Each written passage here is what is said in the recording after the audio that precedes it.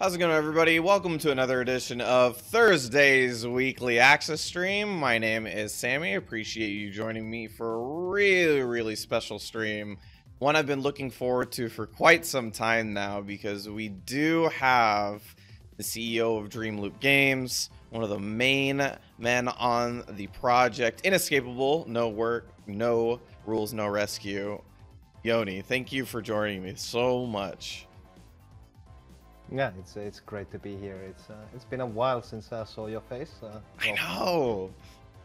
I still well, say, I- I- sorry, I still say like when man, I was like really surprised that we were at um we're at uh God Anime Expo 2022. I was like, man, this is the cool part of my job. I get to talk to people about like who make games. That was like always the thing. I was like, oh, you know, you're a kid and you envision these things, you know, just playing games. or- But then I got to talk to you. It was like that was that was a really cool part of my life. So it is great to like talk to you again. talk to cool people. Lately, I've been able to talk to movie people, and that's kind of Yeah. at the same time. I'm like, hey, it's really cool to like meet you. I've seen you in many movies, and then they like, yeah, it's really cool to meet you because your industry makes like so much more money than ours. So, Is that true now? Is that yeah, true? it is true. Gaming industry makes like um, uh, money of I think it was like five Hollywoods or something. um that's sort of like how i got into that's how like the the weird transition of me going from being a person who played video games to a person who liked competitive video games who went into commentating competitive video games to getting to this job uh i kind of like to ask you sort of maybe not to give you to ask for the same in-depth pathway but like what got you into that pathway of like making games Um, I did make my first games when I was like 13 or something uh, with Klik and Play and Game Factory and what were those tools back in the day? Pretty horrible Right. stuff, but uh, you could at least uh, the same basic ideas of like you know. Uh, put implementing your uh, designs and someone else's ripped art because you're a teenager who don't know how to draw and so forth. right yeah But um, but honestly, I didn't like design games until I got like maybe my like second degree uh, from university, Mhm. um, like a little bit over ten, about ten years ago. But I have been a um, like role-playing dungeon master slash game master for 23 years now. Really? So yeah, I've been I've been doing that quite a long time. Recent recent year I've been taking a bit of hiatus, but uh, before that it was basically about a weekly thing, talking about like uh, four to six hours a week. At some point I reached uh, like five thousand hours on the table, um, and I got to hang out, and I'm I'm good friends, for example, with like um, uh, how to be a great GM. Uh, guys and and so forth so I'll, i'm being able to be on a lot of designing stories i think that's kind of like a little bit relevant for inescapable I guess. Absolutely. but uh, I've, I've been always kind of like a storyteller Mhm. and um, i learned quite quickly that if i don't make uh, stories in the table that are meaningful for the players Right. and it's it's I could even say um, tailored for the players. Right. They're not gonna be interested, and it's it's something we could probably get get to that a little bit later. But it's Sure. something that inescapable is as well. It's uh, whoever you are in there buying the game or uh, like picking it up. It's Mhm. it's probably trying the game is trying to be tailored for you.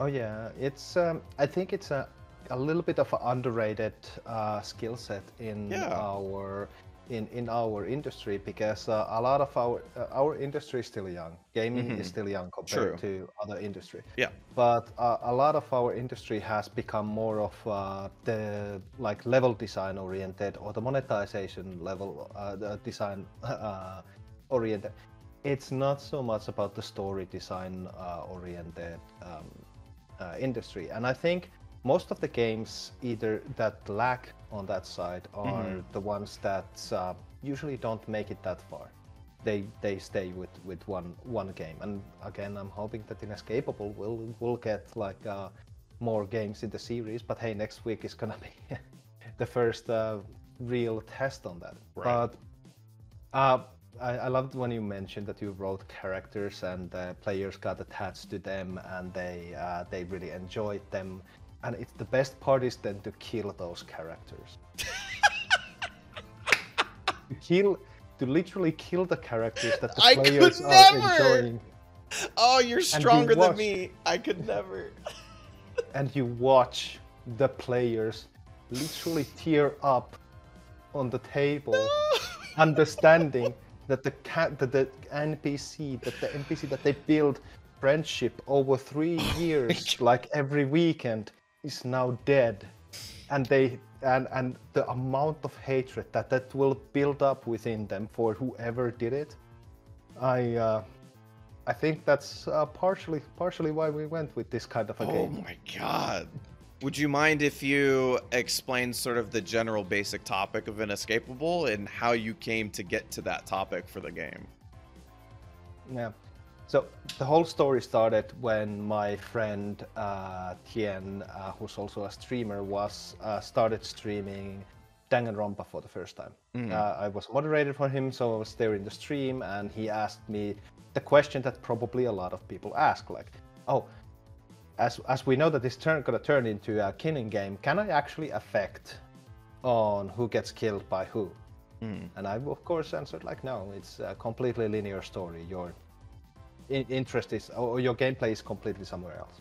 Right. And then, then after the first stream, I was like, I was, I was um, close to stream, and I was there um, walking to get something to eat, and I was like, but could you? could you make a game uh, like uh, Danganronpa where you can actually affect on who gets murdered and who doesn't, and who did it, etc., etc. Right. And um, I, I took a piece of paper even in that evening, and I started kind of like a, you know, starting out uh, with the idea. And I was like, oh, sure, you can. Uh, I, I'm a GM. I have created a tree structure for my games before that Right. if players go here, they decide this, they start to go this way and this way. And I realized very quickly that uh, after like three murders, you have 16 different uh, branching paths that cannot be cannot be um, the same because uh, different people have died and killed by different different people. Right. I'm like, that, that means that I, I would need to for uh, three murders to happen. I would need to write 16 games. I'm like, that cannot work, and I, I think that's why they didn't do it. Fast forward something like three months and many uh, paper uh, drafts later, I was like, no, you can actually do this. You can actually. Um, uh, at that time, it had already a little bit shifted on like what exactly I was looking for in terms of the uh, the principle. hmm But I was like, yes, you can actually create a game where you make bunch of decisions. Right. Actually, I, I I dare to say Inescapable has the most player decision making in all visual novels. And then you end up on completely different story based on your decision. But it's not. It's by God. It's not through branching three, uh, branching a tree structure. Uh, I was going to ask maybe like if there was sort of that kind of challenge that that was coming from making the game. If there was any sort of challenges that came from that were unique to making Inescapable. unique for Inescapable, of course. Um, like, it was a game that we had not worked uh, with before. Mhm. Um, we work with a lot of uh, um, like client games throughout the years, and uh, we work, of course, console side of things were no-brainer for us. We we gone through console certification so so many times. Right.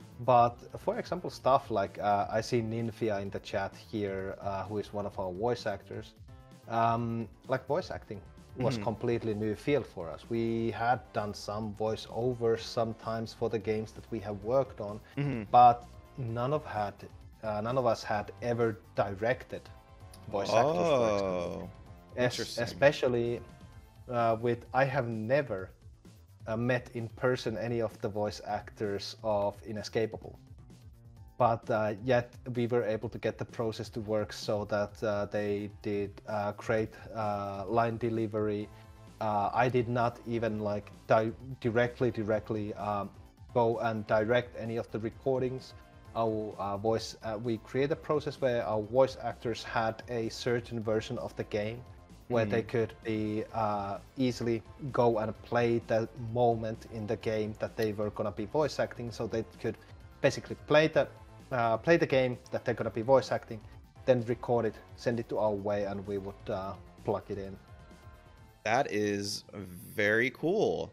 So they almost got to see, they got to maybe envision how the line is supposed uh, is going to be said, plug it into the game, and then see if it actually fit, rather than sort of doing that process on your side and then asking for maybe a different, uh, uh, maybe asking for like a different line read afterwards and doing that over and over again. Rather, you gave them sort of the opportunity to find their voice within the characters themselves.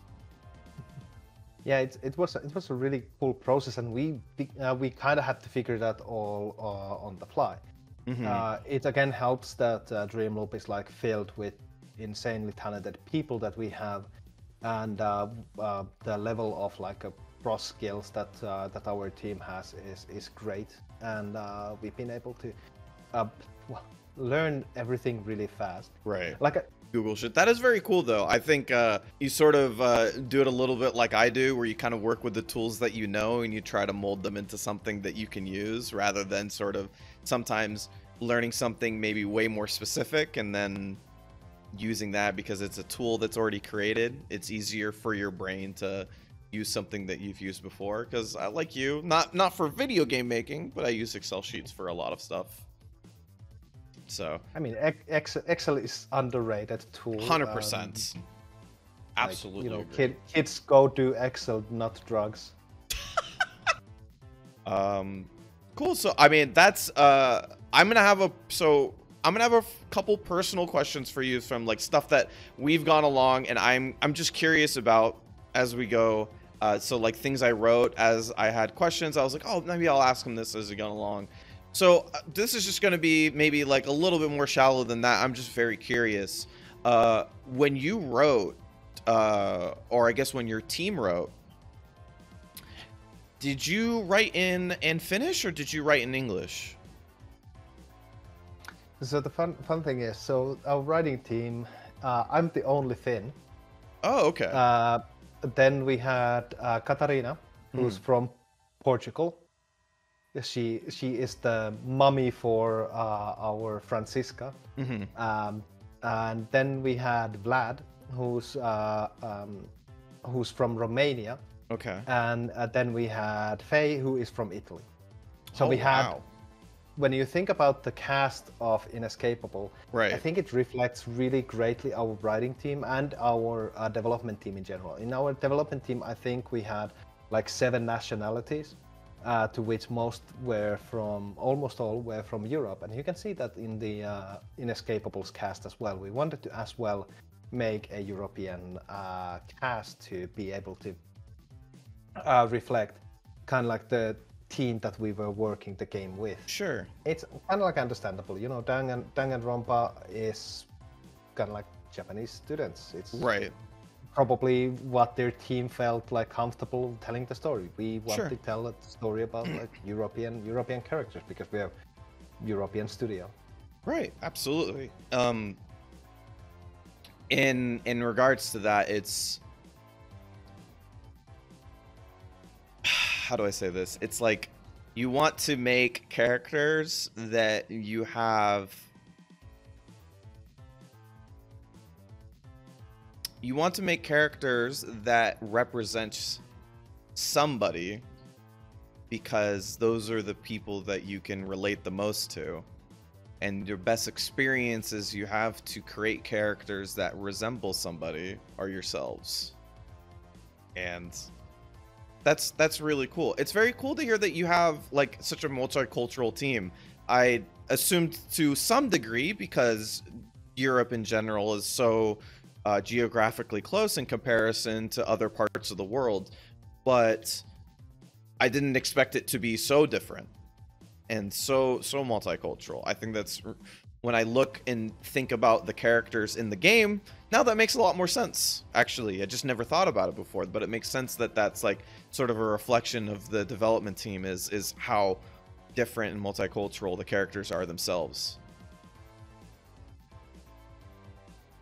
Yeah, and uh, it, it's in the sense um, it, it it became very even even before mm-hmm. uh, even before we started working on it.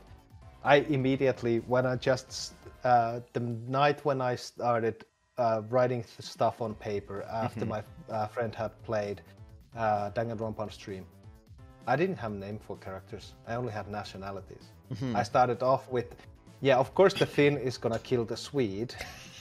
And then uh, French is gonna surrender to the Germany, and, uh, and that's that's where I started. I literally was like, no, we we're gonna. Uh, uh, uh this idea starts off with European people. Um, then right. we're gonna basically build from there. okay, Joni, this won't be the last time we talk. I am, as a video game fan, so thankful for you to come by, spend so much of your sleep time to uh, talk with me about the game, and uh, I I'm looking forward to the release. As am I. I think the most of everyone around here. Hopefully, at least. All right. Thank you, Joni. I hope you have a good rest of your night. All right. Take care, gang. Have a good one. I remember because when we first talked when I was at uh, at Anime Expo 2022, when we talked, I really brought it up to him in a way. I was like, oh, like, you know, I have these thoughts about how the game th- is brought up and to you and like this is how I think the game is and they went back to me and they were like no that's exactly how the game is and so to hear about um how decisions are important how your decisions are going to affect the way that the game goes and how um how every decision can you know, really be important to how the game progresses, how the characters interact to one another. Um, to hear from him, by the way, that he started writing this game because he saw another game and said, I could do that, and I have this idea. Uh, that'll be it. Thank you guys for joining me. I really appreciate it. This was a, a fun stream to have, and I enjoyed so much of it and uh, I appreciate everybody who came coming through. That was a lot of fun.